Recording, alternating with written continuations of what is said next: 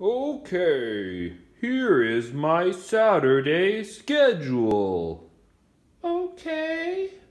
What will I do at 10 o'clock a.m.?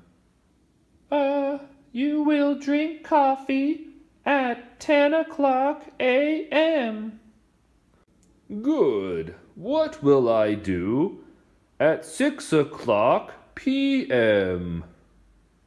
At 6 o'clock p.m., you will cook and eat dinner. Wonderful. Now, it is 1:55 p.m. What am I doing? You are about to study Korean. Good. One more. It's 8:55 p.m. What am I doing?